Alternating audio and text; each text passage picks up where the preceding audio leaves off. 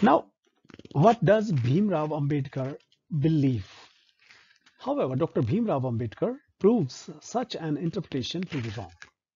Doctor Bhimrao इस बात से सहमत नहीं है शायद आपको मालूम होगा कि डॉक्टर भीमराव अंबेडकर हिंदू व्यवस्था से बहुत दुखी थे और अपने जीवन के आखिरी दिनों में उन्होंने बौद्ध धर्म को अपना लिया था हिंदुइज्म छोड़ दिया था हिंदुइज्म में जो कास्ट की व्यवस्था है, उस व्यवस्था से वो खासे नाराज़ थे और उनके अपने कंटेम्पररी बहुत सारे पोलिटिशियन से विचारों का भेदभाव उनका रहता था। Doctor Bhimrao prove such an interpretation to be wrong he says that Manu never intended untouchable to be a part of Hindu society जहाँ एक तरफ़ सोशल रिफॉर्मर्स जो हिंदुइज्म के हैं, वो ये मानते हैं कि शूद्रों को छूने से मनु ने कहीं मना नहीं किया है और शूद्र जाति के लोगों को छुआ जा सकता है, वो अछूत नहीं है। ये बात मनु ने कहीं नहीं कही है कि शूद्रों को नहीं छूना है। लेकिन भीमराव अंबेडकर बिल्कुल इससे विरुद्ध, इसके विपरीत बात करते हैं और वो ये कहते हैं कि जो बात मनुस्मृति में मनु ने कही है, वो बात सोशल रिफॉर्मर्स मिस इंटरप्रेट करते हैं।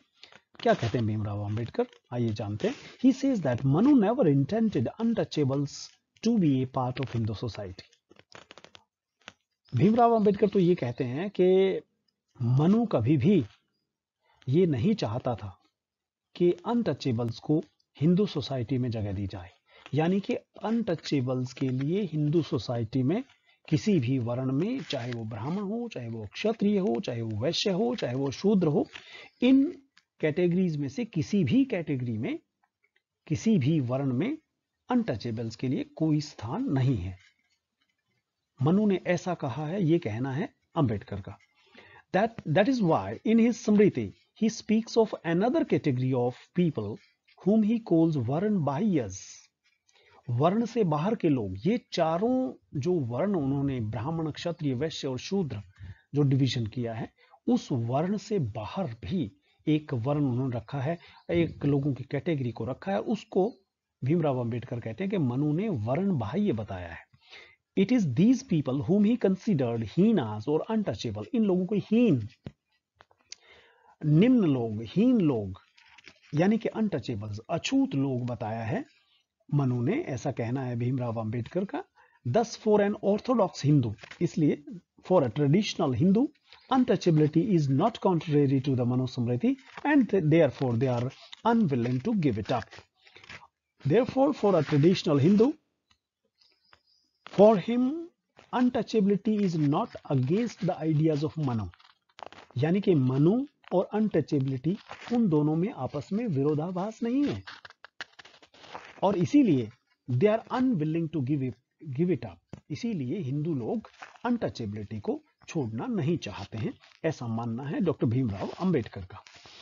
Now doctor Bhimrao Ambedkar discusses three kinds of prohibition in the Hindu society and these three types are number one inter dining number two inter marriage number three physically touching a certain class of people doctor Bhim और भीमराव अंबेडकर कहते हैं कि तीन प्रकार की चीज़ों से मना किया गया है कि जो अनटचेबल्स हैं, उनको तीन लेवल पर लोगों से मिक्सअप होने से मना किया गया है। Inter dining untouchables can not dine with upper class people Brahmin, Vaishya, Shudra ब्राह्मण क्षेत्रीय वैश्य और शूद्र, इनके साथ खाना शेयर नहीं कर सकते हैं अनटचेबल्स उनके खाने को नहीं छू सकते हैं अनटचेबल्स ये मनाही है एक मनाही तो ये है। दूसरी मनाही इंटर मैरिज अनटचेबल्स का बच्चा किसी भी अपर कास्ट चाहे वो ब्राह्मण हो, चाहे वो क्षत्रिय हो, चाहे वो वैश्य हो, चाहे वो शूद्र हो, उनके बच्चों से अनटचेबल्स के बच्चों का शादी करने से मना ही है। दे कैन नॉट आज ये चैप्टर मैंने आपको क्लास में भी पढ़ाया था और इसको मैं रिवाइंड कर रहा हूँ इसको आपको मैं दोबारा से पढ़ा रहा हूँ। कुछ सेक्शंस इसको पढ़ाने से वंचित भी रह गए थे लॉकडाउन से पहले।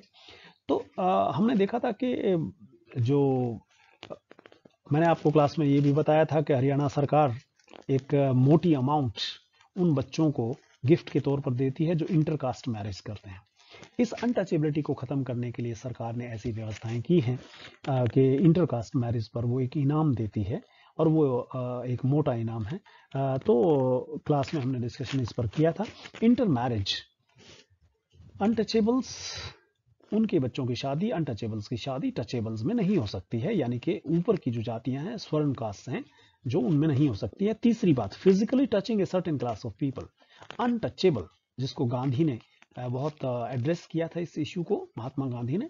तो फिजिकली टचिंग उन लोगों को फिजिकली छूना भी अपना है। अंबेडकर ये कहते हैं कि तीन लेवल पर अछूतों के साथ बुरा व्यवहार किया जा रहा है और उनको छूत लोगों के साथ जिनको छुआ जा सकता है टचेबल सो कोल्ड जिनको कहा जाए वो उनके साथ खाना नहीं खा सकते हैं, उनके साथ शादी नहीं कर सकते हैं और फिजिकली टचिंग से भी मना ही है। While people are practising the first two kind of prohibition they can't be convince to give up the third one जहाँ तक शादी की बात है, जहाँ तक इंटर डाइनिंग की बात है, लोग उसकी प्रैक्टिस तो कर ही रहे हैं। और तीसरी बात जो मानवता की है कि ऐसा कौन व्यक्ति हो सकता है जिसको छूने से भी मनाही हो? जबकि हिंदू सोसाइटी में लोग इन तीनों चीज़ों का विरोध कर रहे हैं, लोगों को छू तक नहीं रहे हैं।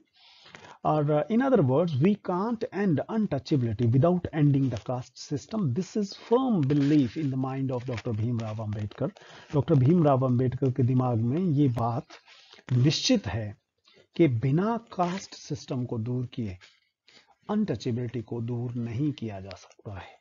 आज हम जब इन चीज़ों पर चर्चाएँ करते हैं तो डॉक्टर भीमराव अंबेडकर ने कभी सपने में भी नहीं सोचा होगा कि कभी इंडिया से इन चीज़ों को दूर किया जा सकता अनटचेबिलिटी लगभग आखिरी सांस ले रही है इंडिया में और लगभग ये पुरानी व्यवस्था दूर हो चुकी है।